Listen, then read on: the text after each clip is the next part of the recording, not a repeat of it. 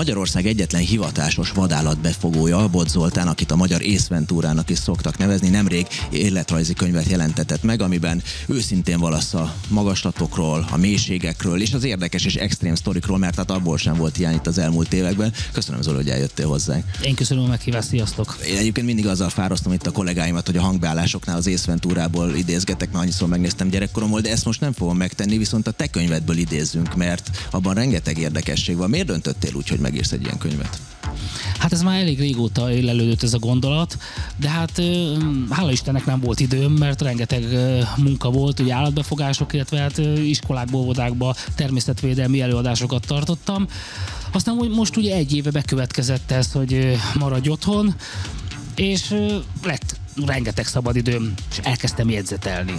Elkezdtem jegyzetelni sztorikat, aranyos, vagy éppen veszélyes, vicces állatbefogásos sztorikat, és úgy gondoltam, hogy akkor ebből lehetne is egy könyv. És akkor visszamentem egészen gyerekkoromba, elkezdtem hat éves koromtól leírni azokat a, a történéseket, amiket én átéltem. Amíg mások a játszótére játszottak, én feküdtem a fűbe, és csodáltam a tücsköket, békákat, gyíkokat, és az is vittem édesanyám legnagyobb örömére, aki viszont rettegett ezektől a, a tücsköktől, bogaraktól.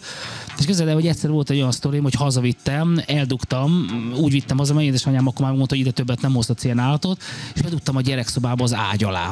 Igen, ám amíg meg voltak rémülve, addig ők nyugton maradtak, aztán úgy éjszaka lett, nagy csend a lakásba, 30 darab gyík kimászott, és reggel egy hatalmas nagy ordibálásra ébredtem, sikítozott édesanyám, és hát a plafonon mindenhol gyíkok lógtak, és mondta, hogy akkor ezeket a gyíkokat akkor most megfogod, befogod, és hát akkor kezdődött az ifjú vadálbefogó karrierem, két hétbe telt, mire ezeket a gyíkokat befogtam, és visszaengedtem őket a szabad természetbe. De akkor neked már gyerekkorodban egyértelmű volt, hogy ezzel fogsz foglalkozni? Hát azt nem tudtam, hogy mi szeretnék lenni. Egyet tudtam, hogy kígyókkal szeretnék foglalkozni, hüllőkkel, kétértőekkel szeretnék foglalkozni. Azt akkor még nem tudtam, hogy vadállatbefogó, mert ilyen szakma nincsen Magyarországon, hogy vadállatbefogó, ezt a média ragasztotta rám, hogy vadállatbefogó, ez jobban hangzott, így jobban el lehet adni a cikkeket.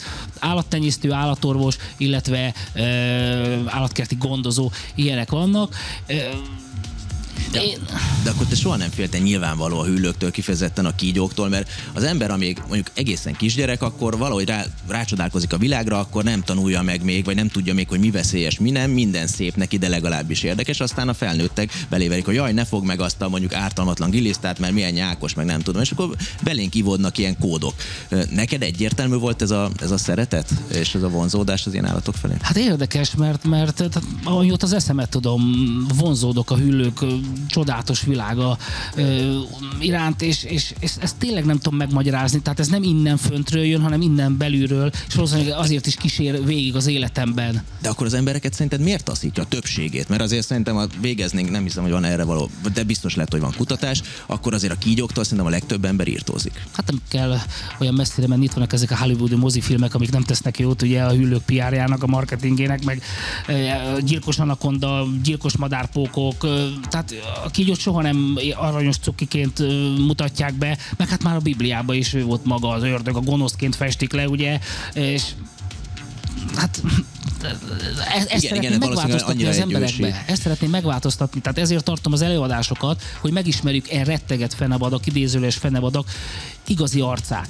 Tehát, hogy ne csak azt, amit a média bemutat, hogy megölte az embert, megharapta az embert, megtámadta az embert, mert az előzményeket soha nem vizsgáljuk, itt csak a végeredményt mutatjuk, és természetes, hogy ezért haragszunk a kígyókra, meg gyűlöljük őket, el akarjuk pusztítani, de, de ők viszont csak védekeznek. Tehát azt soha nem mondják el, hogy az ember tette az első lépést, a támadást, vagy sarokba szorította őket, és ez az állat védekezett. Hát vagy pedig, hogy milyen felelőtlenül bánunk ezekkel az állatokkal, amelyek ugye nem is őshonosak itt hát Magyarországon. Hát halljuk ezeket a híreket, hogy aligátor teknősöket engednek be. A, már egyébként itt beszélgettünk pár szót még a, a, az interjú előtt, a Dunából is szedtél ki már aligátor teknőst, a Velencei tónál is. Azért ez elképesztő, hogy, hogy ilyen esetek vannak, és most már szép számmal.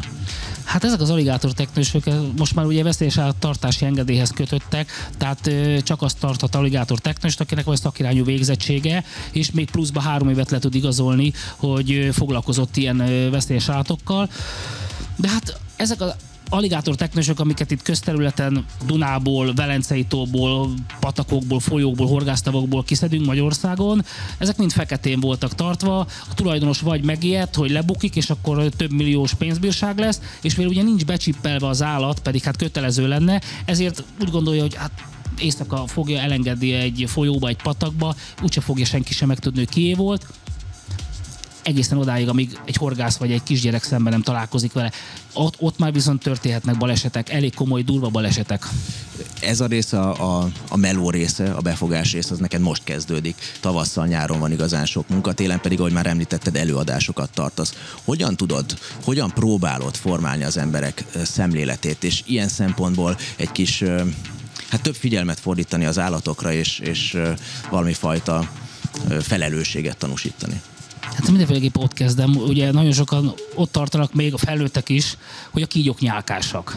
Undorodunk tőlük, el akarjuk pusztítani, mert nyálkásak. És hozzáérnek, érzik, hogy nem is nyálkásak. A másik, amit elmagyarázok nekik, hogy, hogy mi építkeztünk az ő területükre, tehát mi költöztünk a kígyók, a hüllők, vadállatok területére, és nem ők jöttek a mi területünkre. Együtt kell velük élni. Ők nem fognak bántani, ők nem fognak bejönni éjszaka a lakásba azért, hogy elpusztítsanak minket, megegyenek, mint ahogy a filmekben látjuk. Ők szeretnének csak táplálkozni, szeretnének az erdő szélén megbújni, és hogyha mi odaépítkezünk az erdő szélére, akkor ne csodálkozunk, hogy egy vadállat bejön a kertünkbe. Már akkor nagyon sokat elértem egy ilyen előadással, hogyha nem fogják rádobni a féltéglát, mert megijednek tőle, hanem hagyják tovább menni. Én úgy gondolom, hogy akkor sokat tettem ezekért az állatokért. Nem is tudom, hogy mit kívánjak, eredményes munkát, mert ha minél kevesebb van, akkor annál jobbak az előadások, amiket télen tartasz. És olvassátok a könyvemet, nagyon érdekes sztorik vannak benne. Köszönöm szépen, Zoli, hogy itt voltál. Köszönöm.